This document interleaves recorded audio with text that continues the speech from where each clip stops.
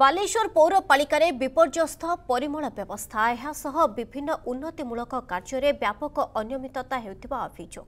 ଏହାର ପ୍ରତିବାଦରେ ଭାରତୀୟ ଜନତା ପାର୍ଟି ପକ୍ଷରୁ ମ୍ୟୁନିସିପାଲିଟି କାର୍ଯ୍ୟାଳୟକୁ ତାଲା ପକାଇବା ସହ କାର୍ଯ୍ୟାଳୟ ସମ୍ମୁଖର ଧାରଣାରେ ବସିଛନ୍ତି କର୍ମୀ।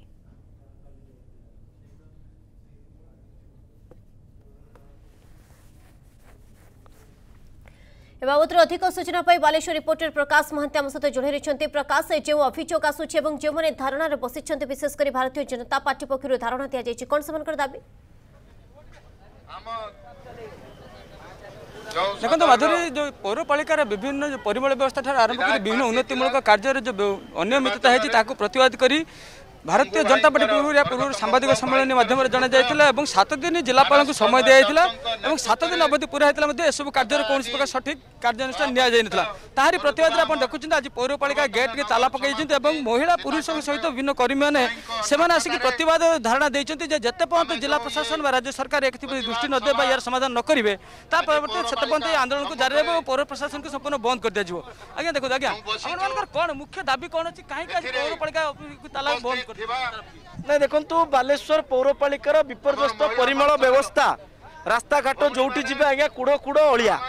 ଅଳିଆ ଆବର୍ଜନାରେ ଭର୍ତ୍ତି ହେଇଛି ବାଲେଶ୍ୱର ସହର। ଅଳ୍ପ ବର୍ଷା ହେଲା ମାନେ ବନ୍ୟା ହେଇଯାଉଛି।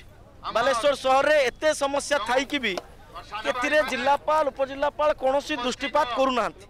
ତେଣୁ ବାରମ୍ବାର କହିଲା ପରେ ମଧ୍ୟ ଏ କଥାର ସମାଧାନ ହେଉନାହିଁ ତେଣୁ ବାଲେଶ୍ୱରର ସ୍ୱାର୍ଥ ପାଇଁ ଲୋକଙ୍କର ସ୍ୱାର୍ଥ ପାଇଁ ଆଜି ଆମେ এই গেটর তালা বন্ধ করছু প্রতবাদ করুছু যেতে পর্যন্ত লোক স্বার্থ পাই সরকার কাম ন করিবে। या आंदोलन जारी रह